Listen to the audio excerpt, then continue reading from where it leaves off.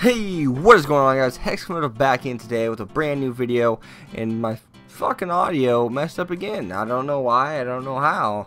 It does it randomly, I guess. So, can't wait to get my new mic that I plan on getting, thank God, because this piece of shit's not working now for some reason. But anyways, anyways guys, today's video is going to be about Seraph of the End.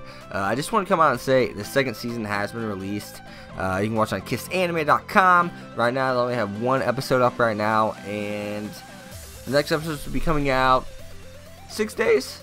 It like literally was it? It literally went up like at midnight last night, like late last night. I'm pretty sure. So hey, guys, please, please, please, if you like the video, leave a like, comment, subscribe, and follow me on Twitter at Hexx25. And high five for Seraph of the End coming out. And fuck it, that was gay.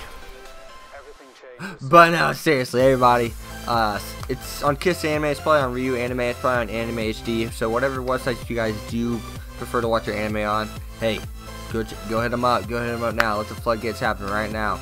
Um, yeah, if you guys need a link, just let me know. I think I mentioned in the video, I'll leave a link, but if you guys need a link, just leave a comment.